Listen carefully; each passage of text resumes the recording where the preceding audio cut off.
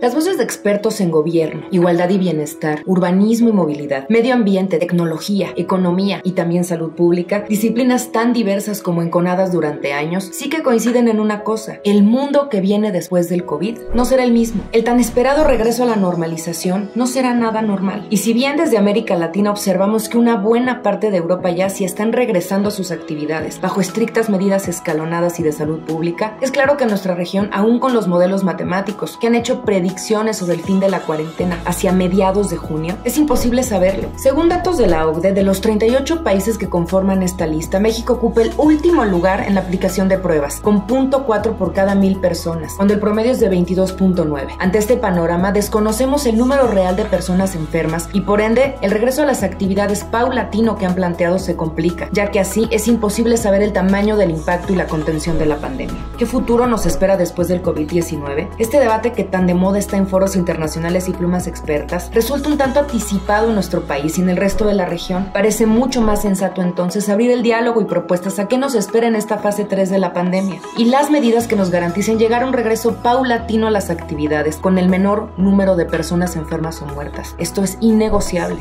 A este respecto vale la pena estudiar de cerca el fenómeno de las ciudades y localidades y el impacto que están teniendo en la contención de la pandemia en el mundo. Uno de los modelos que están agotados y que su debilitamiento será evidente y profundo a partir de esta pandemia es el de los estados-nación centralistas todopoderosos. Su incapacidad de responder de manera directa a las personas durante el COVID-19 y la lentitud y burocracia interminable que las caracteriza están fortaleciendo la visión que plantea que una nueva organización política y territorial es posible a través de las ciudades, donde los gobiernos locales y metropolitanos asuman muchas de las responsabilidades y respondan con mayor agilidad y capacidad, desde la atención hospitalaria y médica hasta la generación de infraestructura en espacio público, movilidad, transporte y servicios públicos. Van a ser las encargadas de construir la resiliencia que vamos a necesitar en un mundo post-COVID. Entonces, ¿qué pasaría si las y los alcaldes gobernaran al mundo, como lo ha planteado Benjamin Barber? Si me preguntan, creo que es así como el futuro de las ciudades y del mundo comenzará a verse en breve. Yo soy Laura Ballesteros y si te gustó esta videocolumna, dale click a glue.mx.